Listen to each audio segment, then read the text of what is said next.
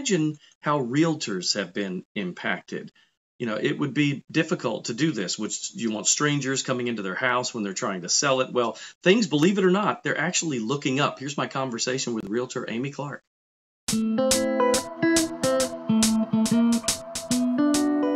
So, Amy, let's talk about this because I was wondering the other day. I'm thinking, are people hesitant to go into homes, and you know, this time of the year with this going on, or are things changing? What are you seeing out there?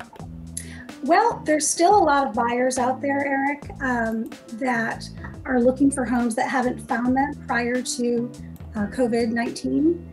And um, we've made some changes as realtors um, to protect um, our clients and the public and we're starting to see things really pick up in the last few weeks again. So uh, obviously, you have to change the way you do things. What are realtors doing these days to help uh, to protect and sanitize? Um, before every showing, we speak with all of our clients, find out if they've had any symptoms. If they have, we ask them very politely to reschedule that appointment for the protection of the seller and then also ourselves and the general public. Uh, we are wearing masks to all of our showings. We um, also wear gloves. We bring sanitizing wipes, and in some cases, we're wearing booties on our uh, on our feet. And it's interesting that um, I know things slowed down for you guys in the very beginning, but now you say you're seeing an uptick. And why do you think that is?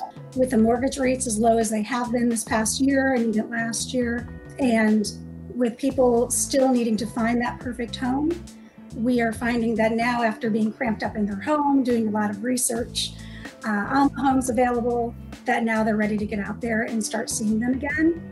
Um, so yeah, there's a big there's a big push right now to find homes. It's a pretty good time. Thanks, Amy, for your your uh, time today. We appreciate it, and get out there and sell some houses.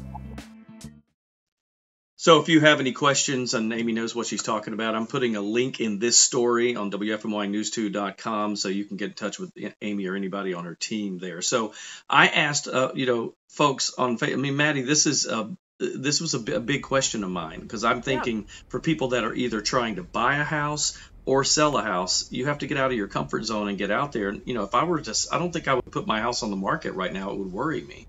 Right, and I know you asked people about this as you were saying on your Facebook page. Yeah, I did, and I was, you know, I was actually happy with this response because it's kind of keeping the economy going, right? Look at Tina. Tina's the first one here. She says, I would buy homes. They're a great investment. She didn't even address the issue of the coronavirus. Marty Heim says, I would buy and sell. Agents have safe guidelines for all parties, and that is true based on what Amy said. Mary Kapaki said that Two houses in my cul-de-sac sold, one under contract just 24 hours after listed, the other only four days after they were listed. And Carmen Leonard said, yes, if you have a good job and you know it's going to be there, why not? So when they're taking precautions like that, then uh, yeah, that's probably a, a pretty good thing. And I think we're all probably fairly safe doing that. Yeah, it does make me feel better. All right to hear from the realtor who says, you know, we are making sure people aren't showing symptoms. We're asking them to wear a mask and wash their hands when they get in. They're taking those extra steps to make sure that a clients feel safe sure. when they're coming to view a house or possibly, you know, put their house up for listing. So. Yeah, and when the, if the realtors are doing masks and gloves and booties, that's about all you can ask for, and then sanitizing when they leave a house. That that's good news.